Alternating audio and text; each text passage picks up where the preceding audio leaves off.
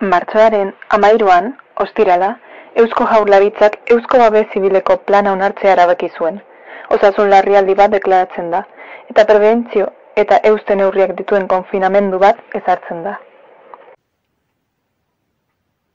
Lagunekin ibili, betiko moduan, eguneroko bizitza. Et, 2000 eta hogeian gaude, hori aldatzen ari da. Orain, metro eta erdiko distantzia mantendu behar dugu. Lagunekin egotetik haiek ikusteko gai ere ez izatera pasatu gara. Eta konfinamendu amaitzean ez gara gure artean hurbildu behar, bada ezpeda. Lanaren kalitateak, hezkuntzak eta ekonomiak behera egiten doaz.